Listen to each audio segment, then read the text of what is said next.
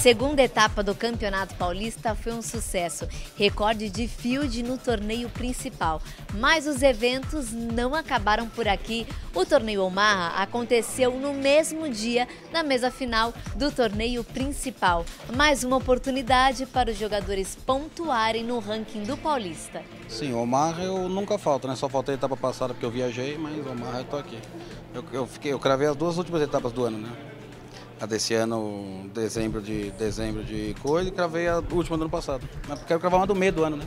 Adoro, tem muita variância, então são muitas possibilidades e é um jogo mais emocionante do que o Hold'em. Como o Texas Hold'em também é muita estratégia. Eu, eu tenho um pouco de dificuldade, como você bem disse, aumento no de cartas, a coisa vai cada vez crescendo mais, né? Só que só pode usar duas, né? Eles gostam muito das quatro, mas só pode usar duas, né? o primeiro torneio que eu joguei foi o último do final do ano passado.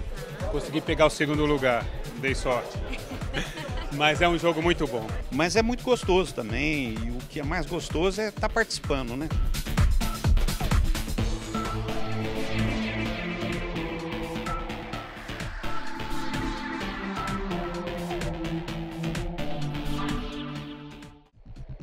Esse resultado aqui no Omaha me deixou muito, mas muito, muito feliz mesmo. Eu tô, tô bem contente. Cheguei em TM também no Main Event aqui.